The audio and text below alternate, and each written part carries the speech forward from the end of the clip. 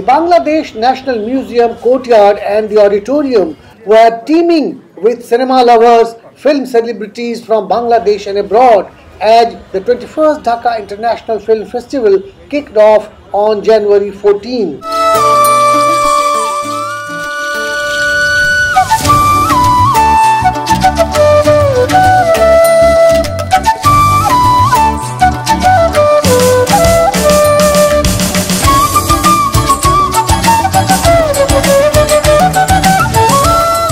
Artists of the Shilpakala Academy gave a colorful performance of Bangladesh's dance and music before the festival was formally inaugurated.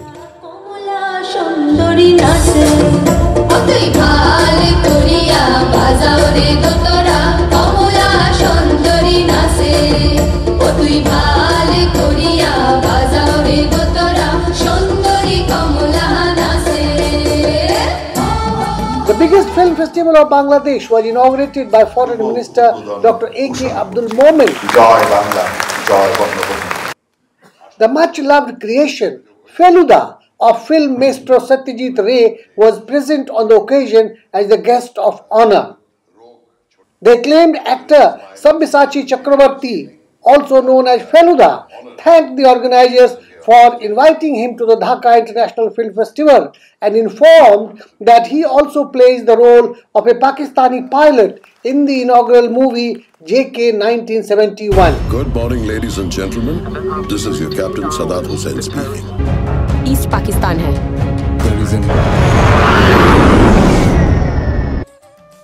The festival is screening 252 films from 71 countries under 9 segments including the Asian cinema, Bangladesh panorama, retrospective, children's film, women filmmakers, spiritual films and the world cinema category.